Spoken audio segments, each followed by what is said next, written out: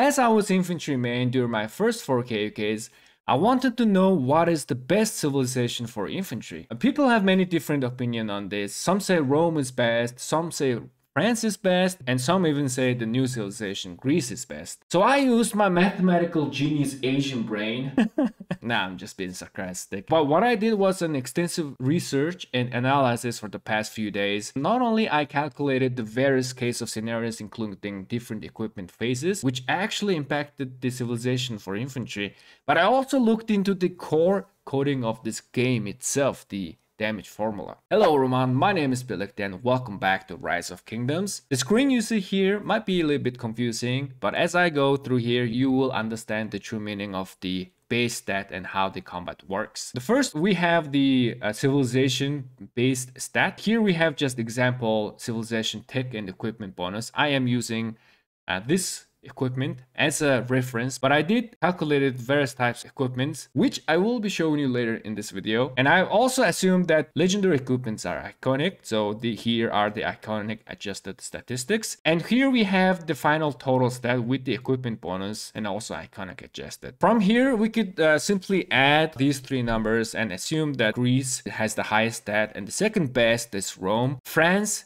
is the worst civilization when it comes to infantry, but it doesn't really work like that. If we take a look into the actual damage formula, which is shown on the screen, this formula was featured and tested in the Wicked Gaming channel and also Fleece channel. And I did my own study on this formula itself. When we see the formula like this, it doesn't really make sense. You don't really understand what the heck is going on here, which is understandable. That's what I did. I didn't understand it initially. So in order to understand this uh, formula, I contacted the creator of RoK Simulator, Speka. By the way, shout out to Speka for helping me to make this video and uh, understand this formula to its core. So I'm gonna simplify this formula for you guys. And here we have the simplified version. Basically, this formula says that the damage you do equals to the number of troops you have uh, multiplied by total attack stat. This attack stat is this base stat, not this uh, percentage, but this base stat that we're talking about here. Uh, divided by enemy defense stat and uh, HP stat multiplied each other. This is also the base stat that we are talking about here. And it is multiplied by X. Uh, here on the top we had the number of number 2, but I marked it here X because this x number is uh, not constant number, it is variable in this equation in order to balance out the game. And it is multiplied by square root of your initial troop capacity divided by remaining troops that you currently have. If we see this formula, this formula is not really linear formula, but it is a square root formula with the multiplication and division. Uh, what we can imply from this is that adding up the stat in order to make conclusion is not gonna work, but instead we need to multiply these base stats in order to calculate the true impact, which is shown here. This number you see here is multiplication of these three stats. And I know it is kind of a scary number, it's a mess, but uh, this is what's going on behind the scene in, in the actual coding of the Rise of Kingdom game. Judging by this, Greece has the most amount of impact to the damage formula. And the second best is Viking. France is now the third best. If we see here, it was the worst total. Now France is the third best and Japan is the worst civilization out of uh, infantry civilization. We can safely conclude that Greece is the best civilization for infantry. It doesn't matter if you are garrisoning, rallying, or playing on open field. It is simply going to trade better than the other four civilization just based on the damage formula. Now that we understood the damage formula and how the base stats uh, impacted I went ahead and uh, did some various types of calculation with the different equipment case of scenarios. And I'll just talk about the final results instead of going over them all. It showed that highlighted in green, Greece was the number one civilization when it comes to infantry.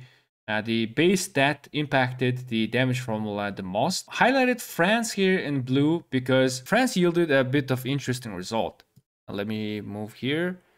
Okay, with the most end-game equipment of infantry, France was second best. On all previous simulations, Fr France was third best. When it comes to the utmost late-game equipment maxed out, France become the second best civilization. And I also found out that Karuak Humility, Crit Karuak Humility performed better than Eternal Night, non-crit. So for infantry players out there, you can stick to Karuak Humility for a long time and you only need to change your uh, pants when you have crit Eternal Night. Until then, the Karuak Humility is going to be best equipment choice for you. So, here we are talking all about theory. In order to verify this theory, we need an actual test. So I ran some test and compared uh, Greece civilization with Vikings. As we know, Greece was number one and Vikings was number two.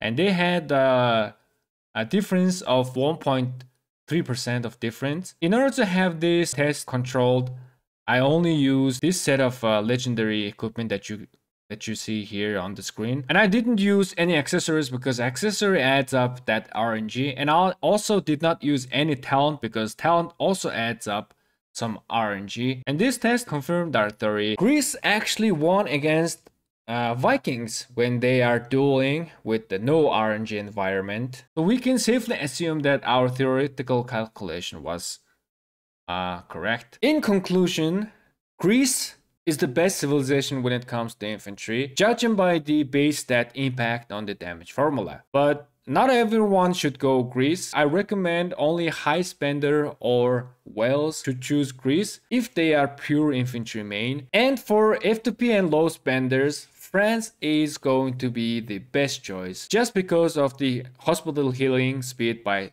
20%. Basically, you are sacrificing around 1.5% trade difference with 20% healing speed. Uh, regarding Rome, Rome as a civilization was interesting. Rome did have the highest defense stat possible. If, if we multiply the defense and the HP stat, Rome had the highest, which implies that Rome is the tankiest infantry civilization, but on the other hand, they don't really do that much damage back to your opponent as opposed to Greece or France civilization. And for open field, Ottoman Empire is very good open field civilization, but if you see the theoretical calculation, Ottoman Empire, as a pure infantry main player, your base stat will be much lower than those uh, civilization that is designed for infantry. On average, Ottoman Empire is going to perform 8, 8 to 9% less than uh, infantry specific civilization and this 5% skill damage and this 5% uh, troop march speed is not going to do you justice. Highly recommend high spender and Wells